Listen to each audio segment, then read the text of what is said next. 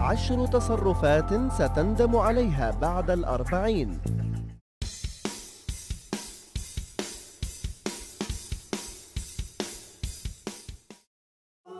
تم وضع قائمة الأمور والأشياء التي يفعلها المرء في السن من 30 إلى 40 عام ومن ثم يندم بعد ذلك.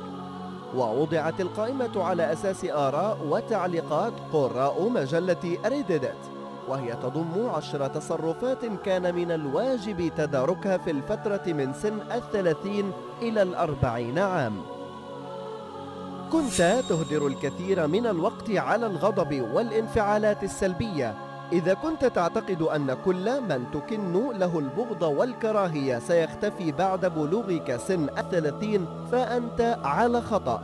سيبقى البعض منهم في محيط معارفك لاحقا. ولذلك لا يجوز أن تهدر الطاقة والوقت على كراهيتهم. حدد الأشخاص الذين تشعر بالانزعاج معهم وحاول تغيير العلاقة معهم. لا تهدر الوقت والطاقة على المشاكل والأفكار السلبية التي لا يمكنك أن تؤثر عليها. لم تكن تولي الوقت الكافي للوالدين. يبدي الكثيرون الأسف لأنهم كانوا يهملون الوالدين ولا يقضون معهما ما يكفي من الوقت عندما كانا بصحة جيدة وفي سن الشباب.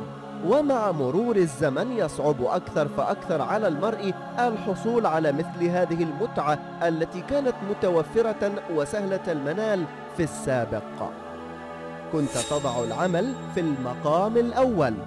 لو كان العمل يعني بالنسبة لك في سن الثلاثين الهدف الأول والأهم فهذا يعني أنك ستندم على ذلك لاحقا. عليك بقضاء وقت أكثر مع من تحب. وكن على ثقة أن المال والتقدم في المناصب لن يجلبا لك مثل هذه اللحظات الممتعة. كنت تعيش وفقا لقواعد الآخرين. ولكن في سن الثلاثين ستشعر بثقل الرأي العام وهو يضغط عليك أكثر من أي وقت مضى. لا تسمح لأي أحد بتوجيهك وإلا فكل تصرف سيثير القلق في نفسك. بما في ذلك قرار شراء بيت أو الزواج أو إنجاب الأطفال وغيرها. لا تنصت لأحد وعش كما يحلو لك أنت بالذات. وإذا انحرف مسار حياتك عن النهج الطبيعي المعتاد في المجتمع فلا يجوز أن تشعر بنفسك من الفاشلين. الحياة واحدة ولن تتكرر فتمتع بها. كنت تعتبر الآخرين أفضل وأهم منك. في بعض الأحيان تهتم أكثر من اللزوم بمشاكل وحاجات الآخرين إلى حد يجعلك تنسى نفسك. عليك التوقف عن ذلك فورا فلنفسك عليك حق. ضع نفسك في مقدمة الاهتمامات وسترى أن المشاكل تنحل بحد ذاتها ستشعر بالسعادة وستتحسن علاقتك مع الآخرين وسيربح الجميع من ذلك. إذا قم دائما بحل مشكلاتك ومهامك وبعد ذلك تفكر بالآخرين. لم تكن تهتم بصحتك كما يجب.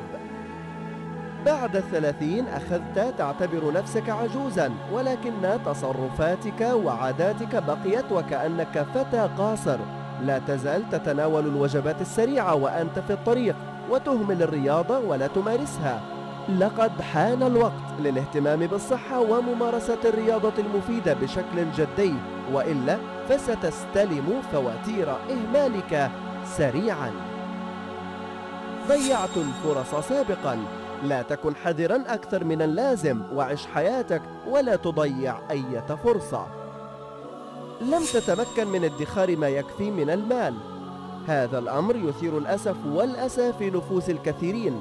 طبعا كلما أبكر المرء بالتوفير كلما زادت مدخراته. ولكن حتى في سن الثلاثين لم تفت الفرصة ويمكنك مع حلول سن التقاعد جمع المال المطلوب. لم تنتقل وتسافر بما فيه الكفاية. ولكن العالم لا يزال عند قدميك في سن الثلاثين ولم تفت الفرصة بعد.